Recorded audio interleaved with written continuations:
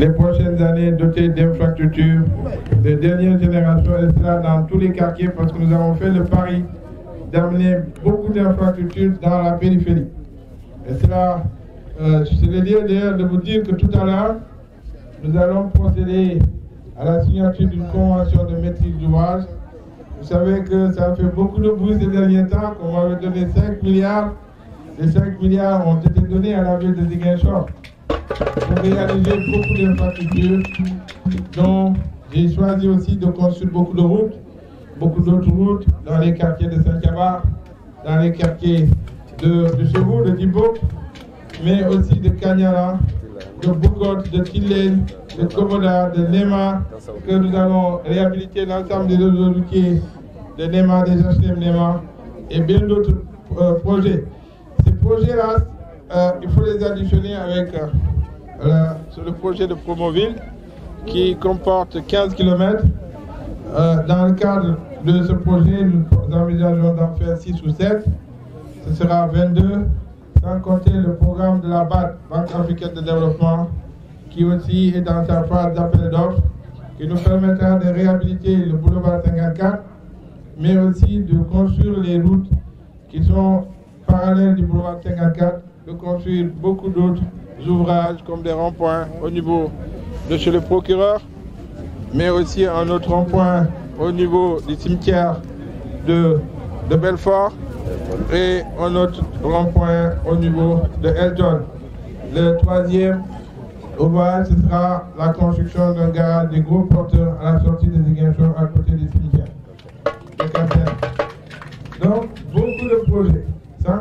l'éclairage public. Vous savez que le président nous a envoyé plusieurs sociétés qui sont en train de sillonner tous les quartiers pour que nous puissions avoir une couverture en électricité à 100%. Les sociétés sont déjà sur place pour certaines, d'autres sont en train de venir. Et dans, dans la KFWDA, c'est le lieu de les remercier. Mais aussi dans le cadre du programme des lampadaires, nous avons été dotés de 2000 lampadaires solaires qui vont être installés dans les mois qui viennent. Donc c'est dire que nous sommes quand même dans une bonne phase de décollage de notre ville dans tous les domaines. Dans le domaine de la santé, et c'est le lieu de dire au délégué qui a tantôt parlé de, de, la mutuelle pour les indigents, euh, je peux vous affirmer ici que nous allons étudier le cas et puis prendre en charge ces 1000 indigents dont vous de parler. Donc, nous sommes très contents aujourd'hui, population des Thibault. Euh, vous me rappelle qu'il faut que je vous invite à la signature de ce soir, de vers 16h à la mairie.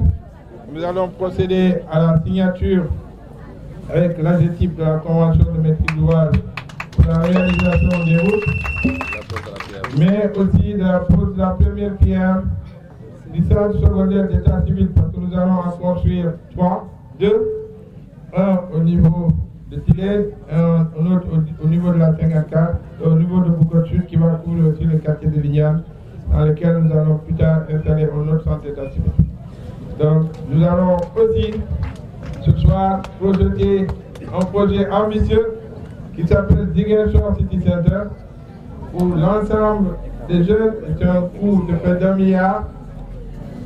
On n'est pas encore à un milliard. Je le directeur général de la me regarde. Je veux un peu revenir dans pour nous permettre de construire ce qu'on appelle le Shore City. Dans ce centre, il y aura tout, des espaces pour les jeunes, des espaces pour les artistes, des espaces pour les sportifs, des espaces pour les enfants, une piscine et beaucoup d'autres euh, infrastructures qui permettront aux familles de venir passer la journée là-bas. Pour ceux qui veulent lire, pourront lire, ceux qui veulent faire du sport, du pétanque, du volley, du basketball, ceux qui veulent faire de, la musique, tout cela dans ce centre-là, vous pouvez passer une journée entière sans sortir. Il y aura aussi un centre d'hébergement à l'intérieur. Donc c'est tout un ensemble de programmes. Un incubateur aussi pour les jeunes, pour les entrepreneurs, pour les femmes.